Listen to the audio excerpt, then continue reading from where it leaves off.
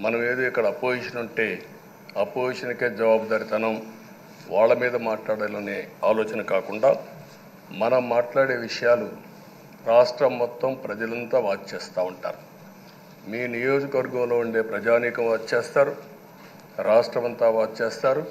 ఒక శాసనసభ్యుడిగా సభ్యుడిగా మీరు సమర్థవంతంగా పనిచేస్తే ఎక్కడ లేని గౌరవం వస్తుంది. దానికి మనందరం కృషి చేయాల్సిన అవసరం ఉంది. అయితే ఓసారి బాధేస్తుంది. గడిచిన ఐదు సంవత్సరాలు.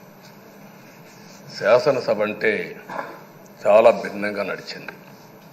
ఎంతో పవిత్రమైన శాసనసభను గత ప్రభుత్వం ఒక వికృతమైన పోకడలు నీచ రాజకీయాలు వ్యక్తిత్వ హననానికి ఒక వేదికగా చేశారు. ఇదే అసెంబ్లీలో దూషణలు బూతులు విక్కరింతలు కక్ష సాధింపులు మైకు లేకుండా పోవడం ఒకటి కాదు. చాలా సమస్యలు వచ్చాయి. అదే సమయంలో ఫస్ట్ టైం వచ్చిన ఎమ్మెల్యే బాధ్యతారహిత్యంగా ఆరేడు సార్లు గెలిచిన ఎమ్మెల్యేని వెక్కిరించడం బూతులు తిట్టడం చాలా వల్గర్గా ప్రవర్తించే పరిస్థితికి వచ్చారు.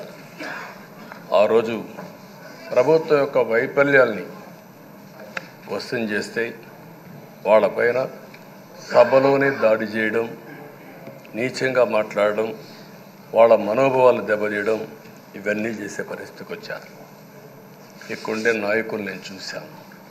ఆ రోజు తెలుగుదేశం పార్టీ ఇరవై మూడు మంది గెలిచాం. జనసేన లేరు బీజేపీ లేరు. కానీ ఆ ఇరవై మూడు మందిని గెలిచిన ఒక ఇదే అసెంబ్లీకి వస్తే వాళ్ళు ప్రవర్తించిన తీరు మీరు చూస్తే చాలా బాధాకరంగా ఆ రోజు పనిచేసే పరిస్థితికి వచ్చారు. ఆ రోజు ఒక్క విషయం మీరు చూస్తే నేను కూడా ఇదే హౌస్లో చాలా బాధపడిన సందర్భం రోజు ఉంది. మెంబర్స్ అందరం ఉన్నాం. నన్ను గురించి నా కుటుంబాన్ని గురించి ఇష్టానుసారంగా మాట్లాడితే కనీసం యాక్షన్ తీసుకోవడానికి నాకు మైక్ ఇవ్వమని అడిగాను మేము నిరసన తెలియజేసి ఎడతామని మైక్ అడిగితే మైక్ ఇవ్వలేదు. ఇవ్వకుండా మీరు చూస్తే మామూలు సంఘటన కాదు. ఆ రోజు నేను ఒక మాట చెప్పాను. ఇది గౌరవ సభ కాదు. మీరు నాకు మైక్ కూడా ఇవ్వడం లేదు. మైక్ ఇవ్వకపోయినా నేను స్టేట్మెంట్ ఇవ్వాలి కాబట్టి ఇచ్చేడతాను రికార్డు కోసం అని చెప్పి గట్టిగా లేచి ఇదే సీట్లో కూర్చొని ఆ రోజు నేను చెప్పింది అదే వర్డ్స్ మీకు రిపీట్ చేస్తున్నాను నేను స్టేట్మెంట్ ఇవ్వాలనుకున్నాం. మీరు మైక్ ఇవ్వకుండా చేశారు. అయినా నాకు బాధ లేదు. మళ్ళీ చెప్తున్నా. ముఖ్యమంత్రిగానే ఈ హౌస్కు వస్తాను తప్ప అదర్వైజ్ రాజకీయాలు అవసరం లేదు. ఇది ఒక గౌరవ సభ. గౌరవ సభ కాదు. ఇలాంటి గౌరవ సభలో నేనుండనని మరొక్కసారి చెప్తూ మీకు నమస్కారం. ప్రజలకు విజ్ఞప్తి చేస్తున్నా నా అవమానం మీరు అందరూ అర్థం చేసుకొని నిండు మనసుతో ఆశీర్వదించాలని కోరుతూ ఈ సభ నుంచి వాకౌట్ చేస్తున్నానని చెప్పి వాకౌట్ చేసి బయట ప్రెస్ కాన్ఫరెన్స్ పెట్టాను. ఎందుకు ఈ విషయం చెప్తున్నానంటే నా జీవితంలో ఇది తొమ్మిదవసారి నేను ఎమ్మెల్యే ఈ రాష్ట్రంలో తెలుగు జాతిలో నాకు వచ్చిన అవకాశాలు ఏ నాయకుడికి రాలేదు. పద్నాలుగు సంవత్సరాలు ముఖ్యమంత్రిగా పనిచేశాను. ఇప్పుడు మళ్ళీ ముఖ్యమంత్రి అయ్యాను. పదహైదు సంవత్సరాల పొజిషన్ పార్టీ లీడర్గా పనిచేశాను. కానీ తిరుపతిలో నా పైన దాడి జరిగింది. ఇరవై నాలుగు క్లేమోర్ మైన్స్ నా మీద బ్లాస్ట్ చేశారు. ఆ రోజు కూడా నా కళ్ళలో నీళ్ళు రాలేదు. మొట్టమొదటిసారిగా ఎలాంటి సంబంధం లేని నా సన్ సతీమణి పైన ఆరోపణలు చేశారు. ఆ ఒక్కరిపైన కాదు. ఈ రాష్ట్రంలో ఆడపడుతులందరిపైన గౌరవంగా బ్రతికే ఆడబిడ్డలందరినీ అవమానం చేయడం సోషల్ మీడియాలో పెట్టడం క్యారెక్టర్ అసోసినేషన్ చేయడం ఇలాంటి చాలా సంఘటనలు జరిగాయి. దానికి పరాకాష్ఠగా మరో శాసనసభ్యులు కానీ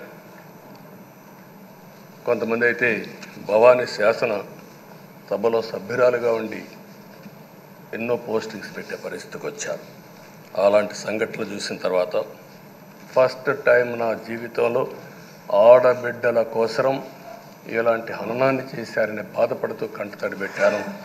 ఆ రోజే అనుకున్నా ఇలాంటి పార్టీ ఈ రాష్ట్రానికి అరిష్టం ఇలాంటి వ్యక్తిత్వం ఉండకూడదు. మళ్ళీ ఈ రాష్ట్రాన్ని గౌరవ సభ చేసి హోందాగా నడిపించే వరకు నేను పనిచేస్తానని చెప్పి ఒక శపథం చేశాను. ఆ శపథం ప్రకారమే ప్రజలు గెలిపించారు వచ్చాను ఈరోజు రెండు సంవత్సరాల తర్వాత. ఆ రోజు నేను వెళ్ళింది రెండు వేల ఇరవై ఒకటి నవంబర్ పంతొమ్మిదో తర్వాత తారీఖున వెళ్ళాను. నిన్న మీ అందరి ఆశీస్సులతో ప్రజలందరి యొక్క ఆమోదంతో ఈ సభలోకి ఎంటర్ అయ్యాం. నాకు జరిగిన అవమానం కానీ ఆడబిడ్డలకు జరిగిన అవమానం కానీ భవిష్యత్తులో ఎవరికీ జరగకుండా కాపాడే బాధ్యత ఈ అసెంబ్లీ తీసుకోవాలని అందరినీ కోరుకుంటున్నాను. నా గౌరవాన్ని కాపాడిన ప్రజానీకానికి మరొకసారి మనస్ఫూర్తిగా ధన్యవాదాలు అభినందనలు. నా జీవితాంతం రుణపడుంటా మళ్ళీ నాకు జన్మనంటే తెలుగువాడుగా పుట్టాలని తెలుగు గడ్డ రుణం తీసుకోవాలని నా ఆకాంక్ష తప్పకుండా ఇచ్చేస్తాను. మొన్న మీరు ఒక్కసారి చూస్తే ఎన్నికల్లో ఇక్కడుండే శాసనసభ్యులందరికీ అనుభవం ఉంటుంది. ఎక్కడో అమెరికాలో ఉండే వ్యక్తులు ఐదు లక్షలు పది లక్షల రూపాయలు ఖర్చు పెట్టుకుని ఓటొచ్చి ఓటేయడం నెల రెండు నెలలు పనిచేసే పరిస్థితికి వచ్చారు. వేరే రాష్ట్రాల్లో ఉండే ప్రతి ఒక్కరూ ఇది నా బాధ్యత అనే ఉద్దేశంతో అందరూ వచ్చి ఓట్లేసే పరిస్థితి వచ్చారు. కొన్ని సంఘటనలు చూస్తే ఆశ్చర్యం వేస్తుంది. హైదరాబాద్ నుంచి ఎన్నికల ముందు రోజున యాభై ఐదు ట్రైన్లు వేశారు. యాభై ఐదు ట్రైన్లో ఫుట్పాత్లపై నిలబడుకొని వచ్చారు. ఏసీలో ఫుల్గా మామూలుగా ఏసీ అంటే ఒక ప్రెషర్ ఉంటుంది. ఎక్కువ మంది ఉంటే గాలి ఆడదు. అయినా కూడా లెక్క పెట్టుకోకుండా వచ్చారు వీళ్ళందరినీ మనం పిలిస్తే రాలా. మనం ఆర్గనైజ్ చేస్తే రాలా. కానీ ప్రజలు గెలవాలి. ఈ రాష్ట్రాన్ని కాపాడుకోవాలని పిలిపించాం ఎన్డీఏ పవన్ కళ్యాణ్ గారు బీజేపీ తెలుగుదేశం ముగ్గురం కలిసి దాన్ని స్ప దాంతో స్పందించి పెద్ద ఎత్తున ప్రతి ఒక్కరూ మా బాధితను వచ్చారు. అదే మాదిరిగా పేదవాడు భోజనం తెచ్చుకొని బస్సుల్లో వచ్చి ఓటేసి మళ్ళీ వెళ్ళారు. అంటే అంత అభిమానం చూపించారు. వాళ్ళ రుణం తీర్చుకోవాల్సిన బాధ్యత ఈ సభ పైన ఉందని చెప్పి మీ అందరికీ తెలియజేస్తున్నా. ఆ బాధ్యతని మన కళ్ళ ముందు ఎప్పుడూ కనపడవలసిన అవసరం ఉంది.